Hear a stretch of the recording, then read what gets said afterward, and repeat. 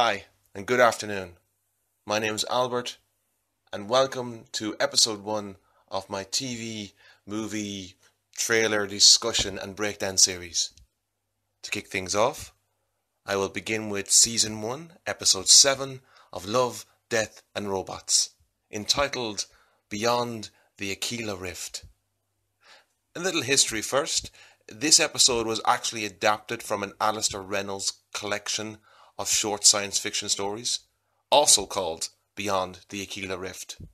With a similar story arc, a crew is transported many light years into deep space, dealing with loss and tormented by the ghosts of their past.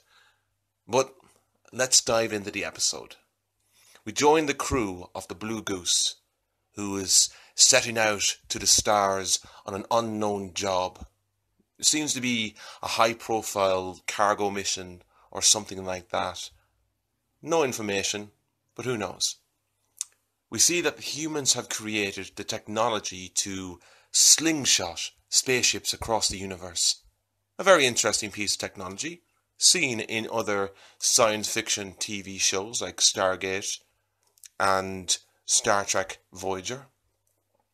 But due to the unknown error of the core computer, Archangel, the crew is sent months off course into uncharted space.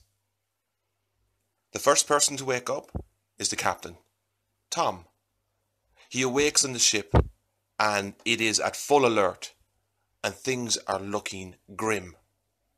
However, in that moment, the door opens and someone comes walking in. And it's an old love of the captain called Greta someone he used to know from his past. She tells Tom she has rescued them and she explains what's happened to him and his crew. And after a little panic with one of the crew members called Susie, everything's okay. We then see Greta and Tom reconnect under this grim situation in the classic science fiction carnal style. But everything is not what it seems. They return to the cryo beds, and Susie is woken up again. And this is when our suspicions are confirmed. Susie seems delirious and tries to warn Tom, saying that Greta isn't what she seems. And after she tries to attack Greta, Susie is knocked out on the ground. Tom then demands to see the truth.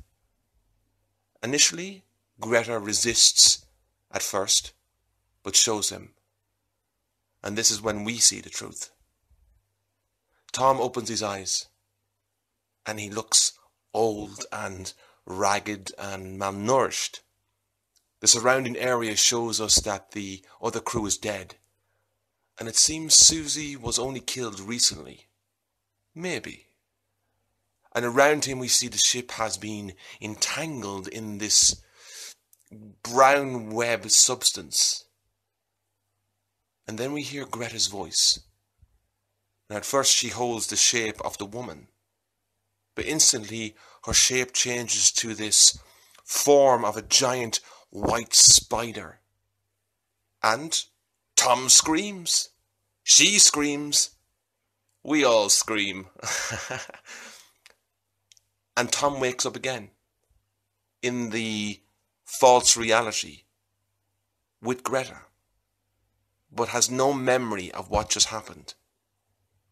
And as the episode ends, we see the true location of the ship. And it seems to be trapped in this large web structure in space. And we also see other ships trapped in this substance. And that's the end of the episode. Uh, this was a thrilling piece of science fiction. A classic sci fi short, great voices used, and fantastic animation.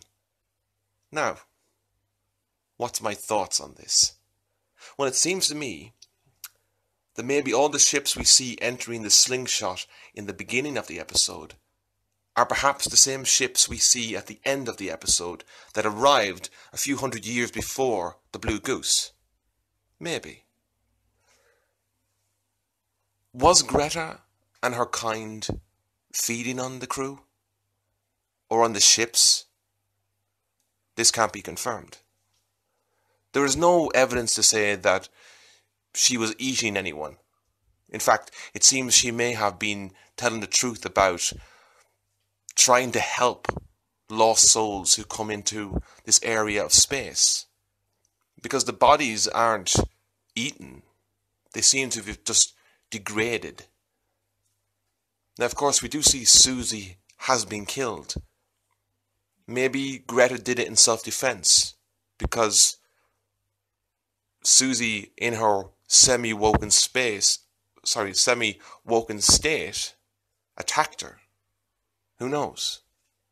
Maybe she was already dead during the crash, or maybe it's just a case that she killed herself. We don't know. Now, creating the false realities can be seen as sinister. But maybe she had bad experiences from the other crews. Maybe the other crews went insane knowing they were trapped and had no way home.